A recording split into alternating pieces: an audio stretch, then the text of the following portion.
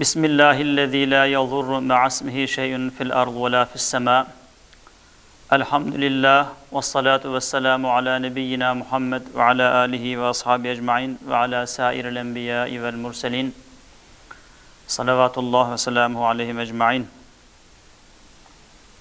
Çok kıymetli dinleyenlerim, değerli kardeşlerim, öncelikle bugünlerimize bizi kavuşturan Rabbimize hamdü senalar, bizlere sağlık, sıhhat ve nimetler veren Rabbimize şükürler olsun diyerek bu akşamki sohbetimde sizlere Ramazan'da ibadetin önemi ve iyilik yapmanın önemi konusunda elimden geldiğince, dilimin döndüğünce bir şeyler söylemeye, birkaç kelam etmeye çalışacağım inşallah. اَلَّذ۪ينَ يَسْتَمِعُونَ الْقَوْلَ فَيَتَّبِعُونَ اَحْسَنَهِ Onlar güzel söz dinler ve sözün güzeline uyarlar. Ayetin mucebince söyleyeceklerimizi güzel güzel olarak söylemeyi, güzel söylenenleri de güzelce anlayıp, algılayıp yaşamayı Rabbim cümlemize nasip etsin diyerek tekrar böyle bir duayla sözlerime başlamak istiyorum. Değerli kardeşlerim, Kur'an-ı Kerim'de Estaizu billah ve ma halaktul cinne vel ins illa liya'budun. Ben ins ve cinni bana ibadet etsinler diye yarattım buyuruyor Rabbimiz. Ayetin devamında biz insandan bir rızık istemiyoruz. Asıl rızkın sahibi, güç ve kuvvet sahibi olan Allah'tır buyuruyor. Yine Bakara suresinin ilk ayetlerinde bir tanesinde Ya eyyühen nâsu'budu rabbekum ila ahiril ayet. Ey insanlar Rabbinize ibadet edin buyurmaktadır. Başka ayette ve abdullah Allah'a ibadet edin, kulluk edin buyurmaktadır. İbadet ve kulluk genel anlamda bizim her hal ve durumda mükellef olduğumuz yaştan ölünceye kadar olan her hal ve durumda Rabbimizin kulu olduğunu bilmemiz, bu bilinçle yaşamamız anlamına gelmektedir. Ama ben özel olarak namaz e, gibi, Kur'an okumak gibi, zekat vermek, sadaka vermek gibi ve e, günlük e, ve günlük hayatımızda uyguladığımız bazı ritüeller, ibadet ritüelleri üzerinde birkaç kelime söylemek istiyorum.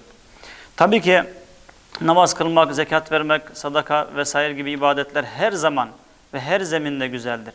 Her zaman ve her zeminde mükemmel bir şeydir. İnsana enerji verir, sevap kazandırır, insanı mutlu eder, dünyasını, ahiretini mamur eder, aile saadet ve huzurunu artırır, kendi iç dünyasını zenginleştirir, güzelleştirir. Ancak Ramazan dediğin, dediğimizde biliyorsunuz her şey katlanarak insana geri dönüyor. İyilikler, ibadetler, güzellikler katlanarak insana dönüyor, yapan kişiye dönüyor. O yüzden Ramazan'da özellikle ibadetlerini insanlar artırırlar. Çünkü katlanarak kazanacaklarını bilirler. Bizim maddi kazançlarımız olduğu gibi, maddi yönlerimiz olduğu gibi manevi yönlerimizi de geliştirme e, geliştirmeliyiz. Manevi manevi yönlerimiz de vardır. Ruh halimizde vardır. Yani insanın ruhu da gıdaya muhtaçtır. İnsanın ruhunun da gıdaya ihtiyacı vardır. Dolayısıyla Ramazan'da bu doluluk oranına ulaşmamız için bolca ibadet etmeliyiz. Çünkü ibadet insanın iç dünyasını güzelleştirdiği gibi, zenginleştirdiği gibi ibadet aynı zamanda insana pozitif enerji veren, yaşam arzusunu artıran, hayata bağlılığını sağlayan, ahirete inancını pekiştiren ve sağlam ve kararlı hareket etmesini sağlayan çok önemli bir ilaç gibidir. Tabiri caizse ibadetleri biz manevi aşılar olarak düşünebiliriz. İbadetlerimizi, maneviyat barajlarımızı dolduran sular olarak düşünebiliriz. Ramazanda o manevi barajlarımızın debilerini yükseltmemiz gerekiyor. Ramazanda manevi barajlarımızı doluluk oranına ulaştırmamız gerekiyor ki neden? Çünkü Ramazandan sonra o barajdan kullanacağız. Ramazandan sonra o maneviyattan harcayacağız. Ramazandan sonra bir sonraki Ramazana kadar yetebilecek yeterlilikte o zaman tünelinden alabildiğimizi alacağız, elde edebildiğimizi edeceğiz inşallah. Dolayısıyla ibadetler her zaman az önce söylediğim gibi çok iyidir. Ancak Ramazan'da çok çok daha mükemmel bir şeydir. O yüzden değerli kardeşlerim, zaten gelenek olarak yaptığımız, yapmaya çalıştığımız namaz kılmak, yani gelenek derken bizim kültürümüzde de yerleşmiş olan Ramazan'da özellikle artırarak yaptır, yaptığımız bunu kastediyorum. Namaz kılmak, Kur'an okumak, Kur'an okuyuşumuzu artırmak, zekat ve sadakalarımızı Ramazan'a rapt etmek gibi bazen örf ve adetlerimizi de oraya yerleştirdiğimiz o güzel e, ibadetleri Ramazan'da yoğunlaştırmalıyız. Beş vakit namaz kılıyorsak buna biraz daha ekleyebiliriz. Zekatımızı eğer Ramazan'a yakın bir zamanda üzerimize farz oluyorsa Ramazan'a çekebiliriz veya Ramazan'a uzatabilir alabiliriz. Sadakalarımızı Ramazan'da artırabiliriz. Çocuklarımızla Ramazan'da sadaka alışkanlıkları vesaire gibi çalışmaları yapabiliriz. Komşularımıza zaten ikramlarda bulunuyor. Onlara iyilik yapıyorduk. Ramazan'da bunu artırabiliriz. Ramazan'da e, zaten çevremize olan duyarlılığımızı daha da artırabiliriz. Söz gelimi yerden bir çöp aldığımızda Ramazan'ın dışındaki aldığımız, giderdiğimiz bir zarar Ramazan'da giderdiğimiz zararla ölçüldüğünde en az 70 kat daha fazla olduğunu bize hadisi şerifler haber veriyor.